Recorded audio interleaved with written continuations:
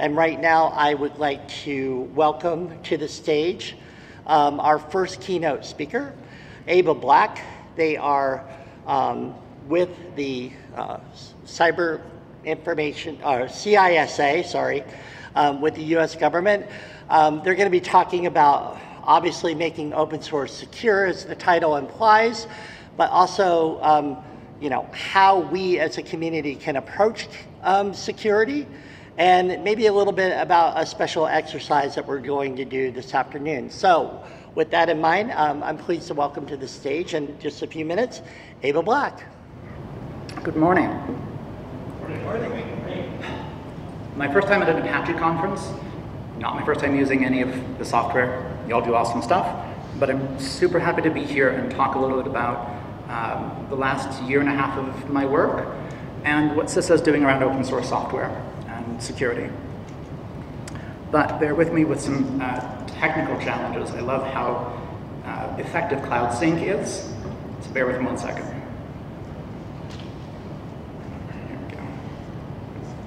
Cool. So for those of you who are not familiar with CISA, uh, anybody in here not familiar with the US Cybersecurity Infrastructure Security Agency? Oh, fair number, cool. Um, well, we serve as the US's lead cyber defense agency, stress on the defense there, um, and the national coordinator for critical infrastructure resilience. And so we lead the effort to understand, manage, and reduce risk to cyber software systems, digital systems, operational technology, networks um, across the country. Uh, and that includes things like water and power and transportation, communication, and healthcare. We work with partners all across the private sector and the public sector and international partners and now open source communities as well uh, to prepare for and mitigate the kinds of impacts that happen when bad things happen. And to advocate for policy changes that will strengthen our national security around open source software. Not the agency, me in the agency, but yeah, and support partnerships around that. So for those who don't know me, um, I did not start my career thinking I would ever, ever work for the government. Um, I swore in like 2000 I'd never work at Microsoft because they hated open source back then. And then I joined Microsoft like four years ago. Uh, and then two years ago I was invited to kind of speak at the White House a little bit, and then they offered me a job, so here I am. Um, careers are weird sometimes. But I, I understood early on in college in the 90s that society advances faster when we all collaborate. And I saw the beginnings of the open source ethos around that time, and the formation of Apache and EFF and, and so on, and thought this is, this is just a better way for us all to, to work. Of course it makes sense, and so my whole career has been in open source, um, working whether it's at low layers of the stack like IPMI and Redfish for hardware management, or cloud automation and Kubernetes and OpenStack, databases with MySQL. I've been a contributor to and a user of a lot of these projects, maintainer in some, and building uh, products at companies some of the time. So today, I want to share a little bit of the historical perspective that I've picked up along that way, uh, still standing on the shoulders of all the folks who came before and great work of others. Talk a little bit about what CISA is doing right now, and then talk a little bit about some tools that we've published that hopefully you can use, whether it's in your community or to take back to your employer or to tell your networks about, you know, how to make all the stuff we rely on a little bit safer.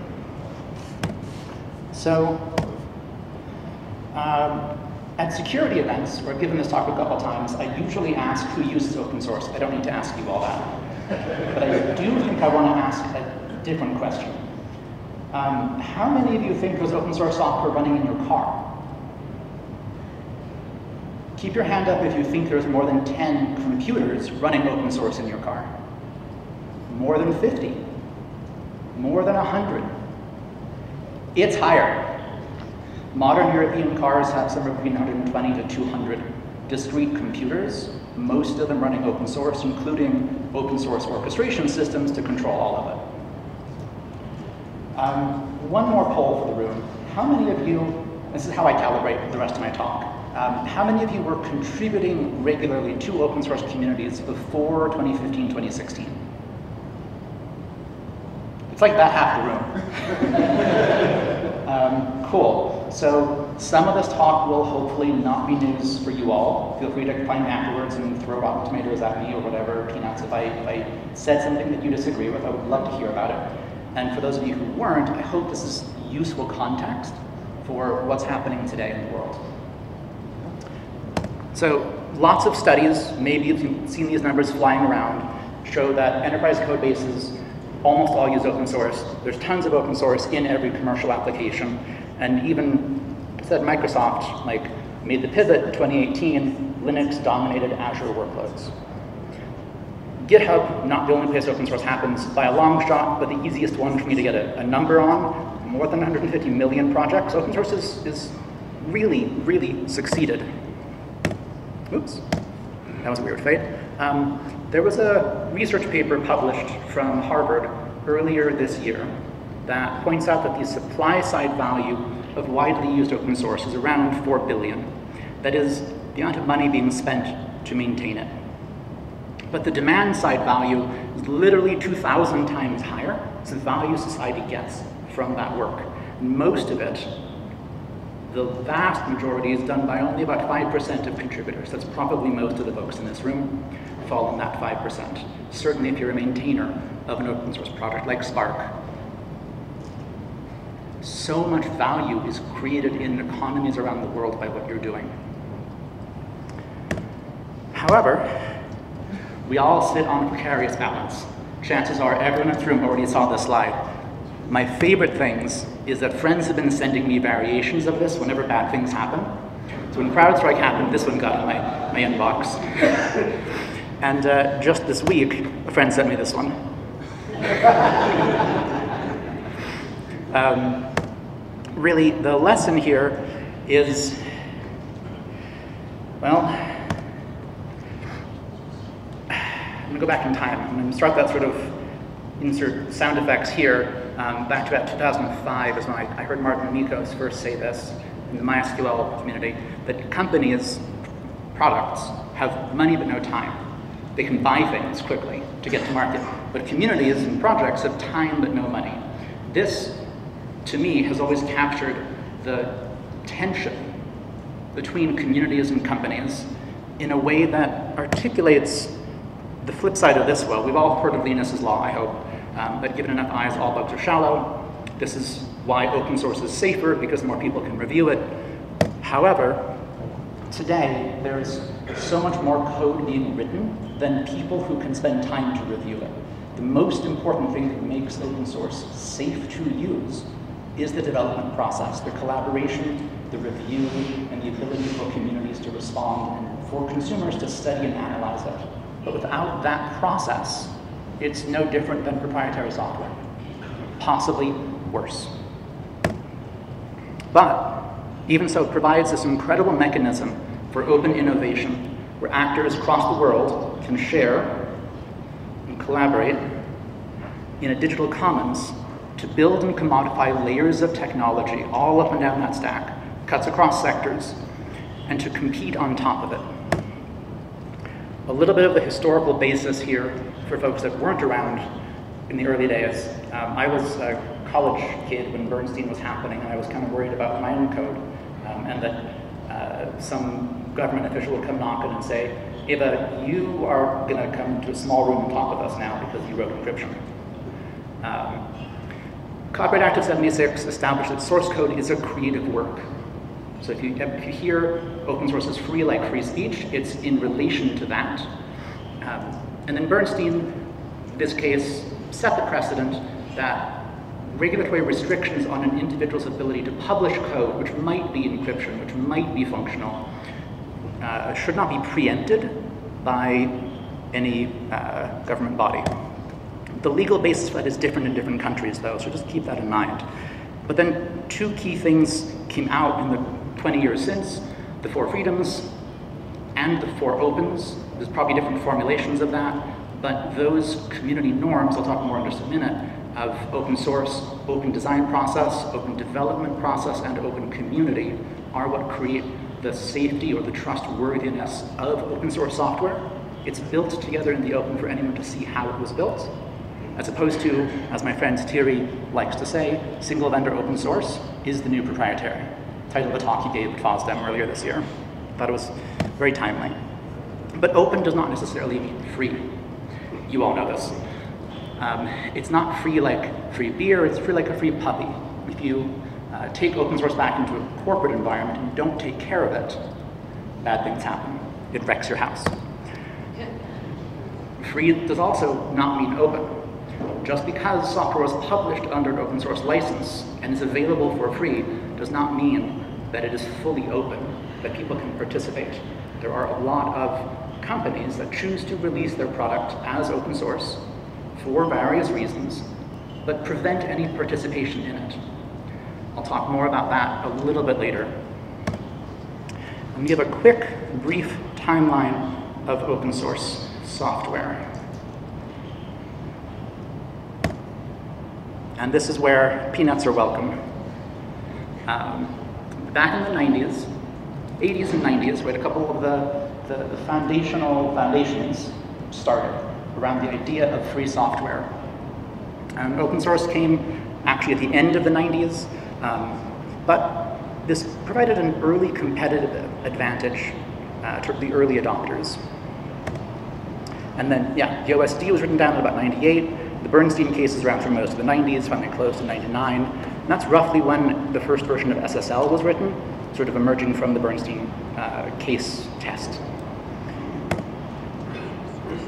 Six, seven years later, Amazon launches EC2, and MySQL gets acquired. This was pivotal because it was the first time an open source company, one of those, you know, folks like us, um, got bought for a billion dollars, and I have to say my pinky up. Because um, it was a really big deal in 2008 that a little open source company was acquired by big tech. Silicon Valley took notice, the investors took notice, private equity took notice, and all of a sudden a lot of money began pouring in to open source projects, and companies were told, release some stuff. And there was a big change there. The, at the same time, the companies that had already been building on open source, Google, Facebook, Amazon, etc., um, were seeing tremendous growth and market advantage. And a lot of other uh, companies began to try to emulate that.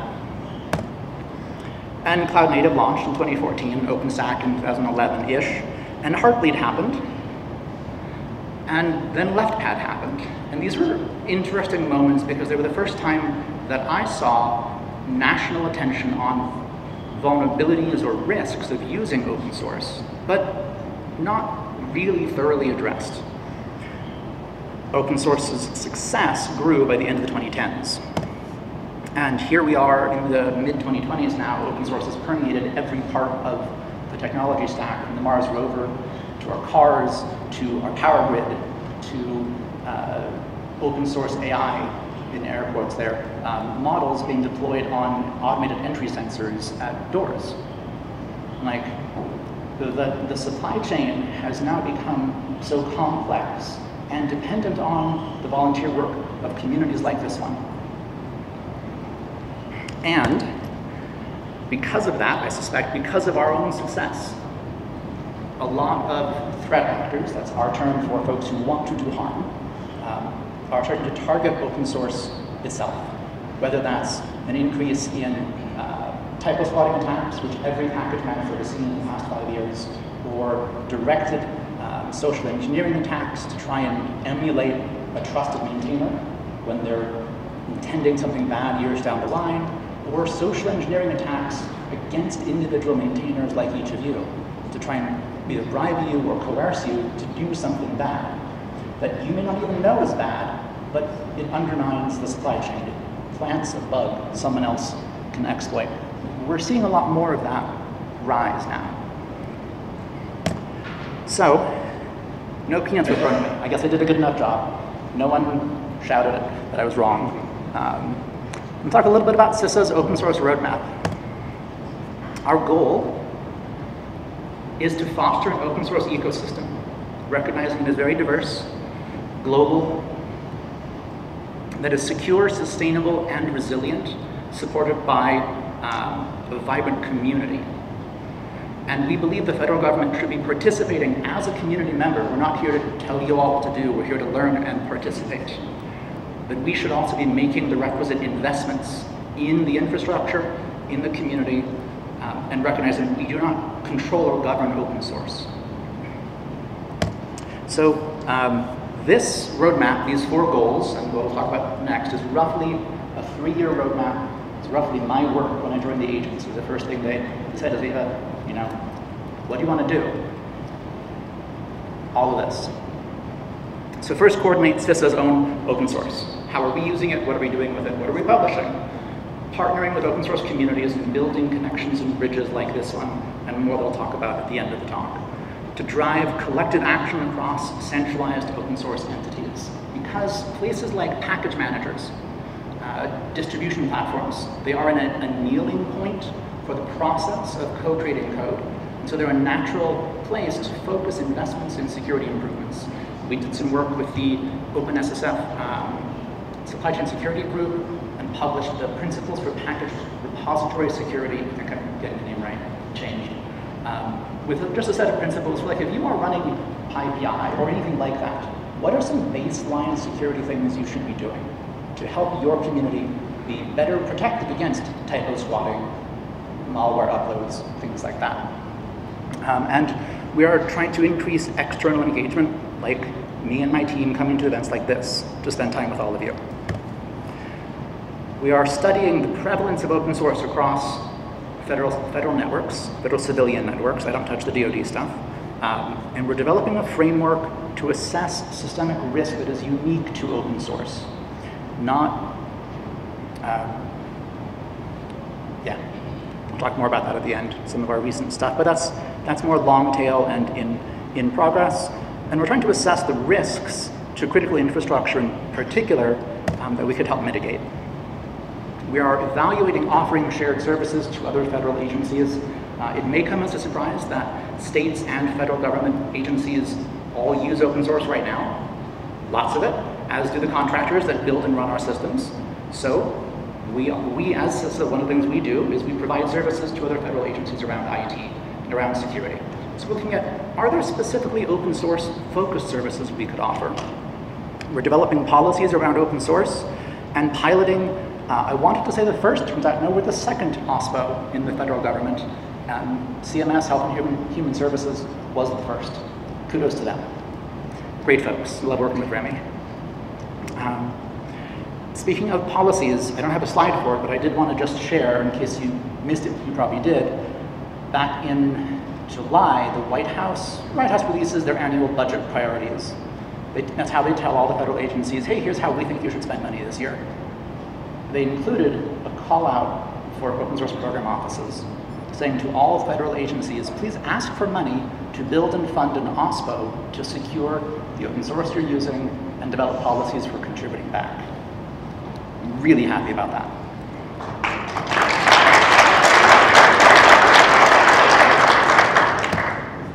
Lastly, uh, goal four, harden the ecosystem overall. That's things like driving adoption of memory-safe programming languages. Uh, if you work at all with Rust, you may have noticed DARPA launched Tractor. It's a, a toolchain request for automated translation of C into Rust. I've seen DARPA do this twice before with C. I hope it works this time. AI will solve all our problems. Yeah. Um, continuing to advance uh, state-of-the-art around software bill of materials, uh, working towards, working on security education and focusing on improving the coordinated disclosure of vulnerabilities in open source. That's a big one. So, some things you can do.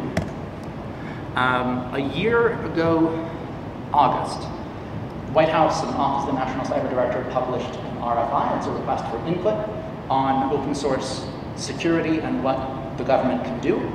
Um, this was kind of a landmark, first time that the White House has put this much attention in. We had over 100 responses, uh, about 10 federal agencies, don't quote me the number, roughly, um, participating in the review process, the discussion process for a whole year. And we published the report. I got to get up on stage at DEF CON with uh, the Office of the National Cyber Director and talk about this report and what the federal government has learned. Um, mostly stuff that did not surprise me as a maintainer for a long time. Some of it was from different corners of the ecosystem I didn't know. But this is also a landmark because it becomes a report that persists after this administration as a durable record of you all speaking to the government saying, here's how to do better. So if any of you did submit to that, thank you. Um, it is also public. You can go read it, and the report uh, is both summary of feedback, but also an outline of the prioritization that the federal government has chosen to make based on all the input that we got. So that's public. That's up there. Um, we published a guide. This is really focused on enterprises who use open source. But if you work at a company that is either, you know, maybe not as good a consumer of open source as you'd like, um, or you're at a small startup and they're looking for ways to do this, looking for guidance to do this. Um, this document describes in some depth how to be a responsible consumer of open source software. What are some common mitigations that or techniques to avoid, excuse me,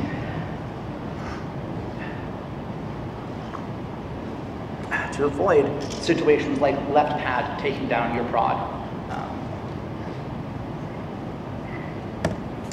we publish the principles for package repositories that differentiates a couple different levels of security um, and what you can do if you're a consumer, again, of open source is select packages from trustworthy sources, where trustworthy is very subjective. Um, cache it in your own environment. Don't update your customers directly from third-party sources on the internet, maybe. Um, we also published back in March this tabletop exercise packet, which again, I'm super proud of. I worked on this one a lot. Um, I got to play a Dungeon Master. How many of you play D&D? Thank you. Um, I treated this like a D&D campaign. A four-hour mini campaign. I killed all my players. I'm so proud of myself. um, but it was, it was fun, and it's published as a template that you can use to go try it out in your organization or in your project community in Apache. And in fact, today, 2 to 5.30, we're going to run this exercise again for you all. QR code there to sign up. Um, Brian's our gatekeeper for who gets in the door because the room isn't that big. But please, if you work on security at all or you're a maintainer, uh, sorry, committer, please think about come joining us this afternoon. Um, and we published a uh, study on memory safety and open source, picking uh, about 100-ish critical projects uh, and analyzing how many of them use a memory safe language, how many of them don't. And then our researchers, uh, I asked them to sort of drill down. You know, top level maybe memory, memory safe language, but what about the dependencies? What if we go all the way down to the bottom of the dependency stack? Unsurprising to me, they could not find anything that was memory safe all the way down. Um, but budget wasn't infinite, we didn't check everything. Basically, it's important that we also all invest in moving to memory safe languages because back in the 90s, I was writing code to try and fix memory safety issues and buffer overflows in other people's code. It's more than 30 years, folks. We've got to get away from buffer overflows and out of bounds being the most common type of remote exploit. Um, lastly, I said I talked about this a little bit, uh, trustworthiness. Um, we it's a lot more complex. If you want to chat about what I mean by this, find me later. But essentially, uh, we are funding some work around, uh, it's open source code, uh, a project called HipCheck, developed by MITRE, for client side assessing how well is a project developed and were there anomalies in the development. Um, is it, does the project usually have good code review and a pretty normal range of cryptographic complexity? And then suddenly one day, one patch lands with no code review, an unknown committer, and a high cryptographic complexity. You should probably review that before promoting it to prod. That's an example of the thematic approach this is taking, not looking at who's writing the code or where it was written or how it was written, but rather how was the process behind its development. And this is based on the framework that I started, I said I wouldn't talk about DoD much, just a tiny bit, um, a couple years ago on uh, assessing the project, product, policies around it and the protections around it as a means of vetting open source to be consumed into um, more secure environments. Hoping they'll publish that soon. Lastly, um, I, this is an interesting thing that I wish I had a lot of time to explain. Essentially, partnering with DHS Silicon Valley Innovation Program, they are putting somewhere around $10 million into open source to advance software artifact dependency graph generation.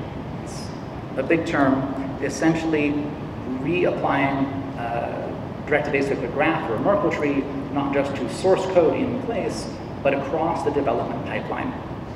So that when you have an artifact, uh, software you're running in production, a container you're running in production, can it contain all the fingerprints in a dependency graph, not an SBOM, of all the code that was used to build it all the way down the stack. Nix already does this. OmniBOR does this in a few projects. Uh, Bazel, I believe, does this as well. There's probably other techniques out there. I've heard from a number of companies that their internal build and debug systems have done this for a decade. Why doesn't it happen by default in open source?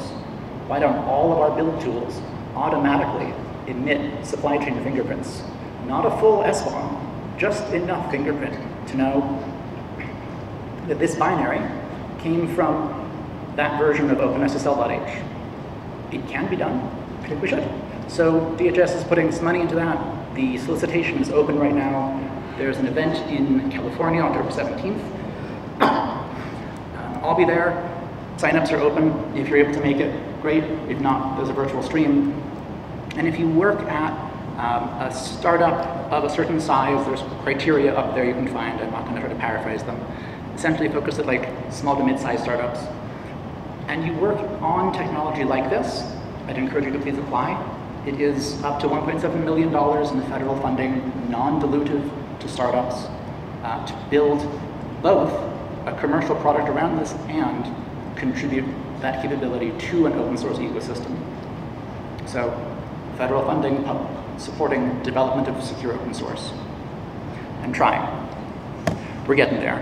Uh, and then lastly, really lastly, with AI, please don't forget all the lessons of secure development of open source. Everyone's really focused on how can we take and customize and go faster with AI and other questions around legal complexities I'm not going to touch.